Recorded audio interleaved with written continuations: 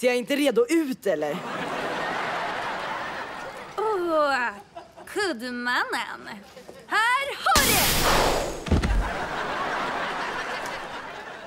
Jag var på Golden Garris och fick stryk av en superhjälte. Bästa dagen någonsin!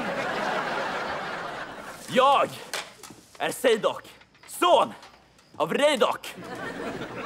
Du stoppar mig aldrig, Starkström. Snälla, stoppa mig, Liv. Ät blixtar! Åh, vår syster i Starkström, vår syster i Starkström!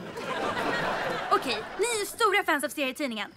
Ärligt talat, hur funkar jag? Jo, det funkar väl jättebra. Okej, men Joey, din röst åkte precis upp typ sex oktaver. Jag vet att du ljuger. Ljuger? Jag? Den är verkligen superhög. Försök inte att dölja det, för jag jobbar jättehårt. Jag får bara inte till det. Nej, du har helt rätt tjejen.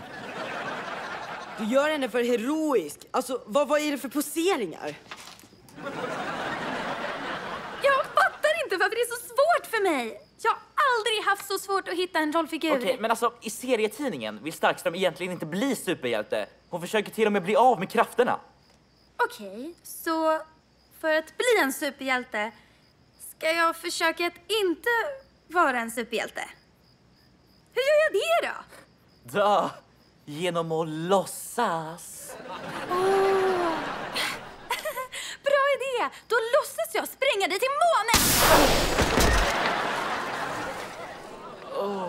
Nej! Åh nej! Det här är förfärligt! Men du behöver ju den här för skolans parad imorgon! Åh nej! Det kommer mamma aldrig mer låta oss leka med superkrafter hemma.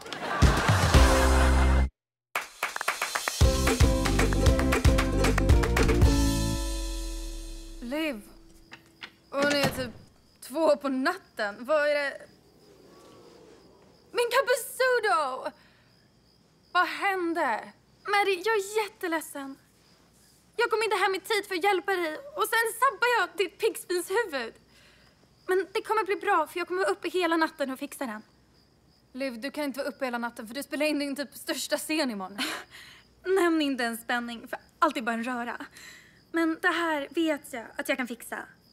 Och om du inte leder paraden imorgon är jag absolut den sämsta syrran någonsin. Hur kan du säga något sånt? Liv, du flyttar en hel tv-serie till Stevens Point bara för att kunna vara tillsammans med mig. Jo, men det känns som att jag redan missat en viktig systerstund. Jag vet att du spelar superhjälte på tv, men jag ska avslöja en liten hemlis. Du är faktiskt mänsklig. Jag vet. Ja, det suger. Men vi kan, du vet, fixa den tillsammans. Vi gör det här till en viktig systerstund. Ja, jättegärna. Och tack, Maddie. God afton tvillingar. Varför är du uppe så sent? Ah, jo, jag kunde inte hitta någon bekväm sovställning och då kom jag ihåg att jag lämnade madrassen i trädgården. God natt.